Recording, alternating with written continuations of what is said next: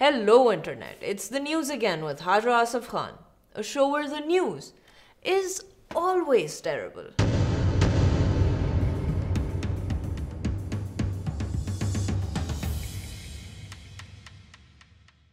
A pigeon suspected of spying for China was released by Indian law enforcement after no substantial evidence was found to support the allegations.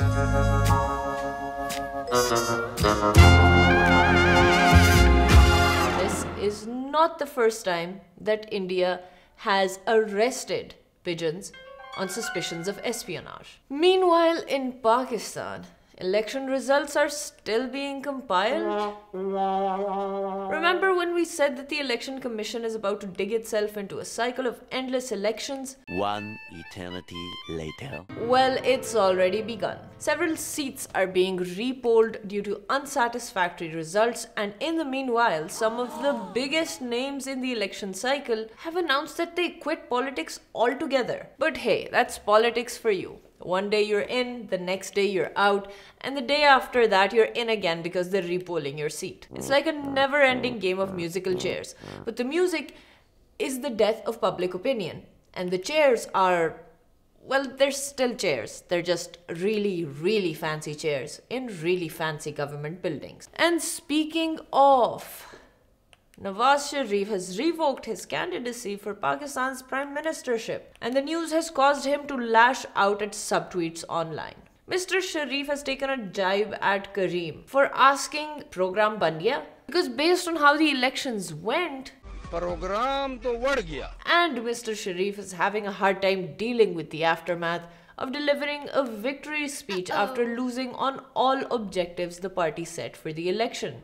In intakhabat mein Pakistan Muslim League Noon सबसे बड़ी जमात बन के उभरी है।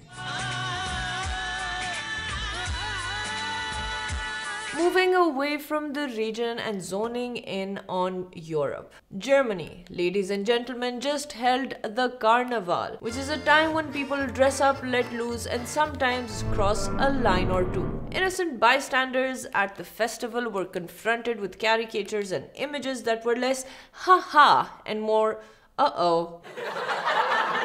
The festival traditionally is a celebration of dissent and promotes speaking truth to power. But this year's parade has left a sauerkraut taste by making the subject of its ridicule a population that is currently being unalived at unprecedented rates. More than 200 unalivements per day, according to this international organization. Now, I don't know about you, but I personally feel like the removal of entire people from the world is something Germany should be a bit more sensitive about.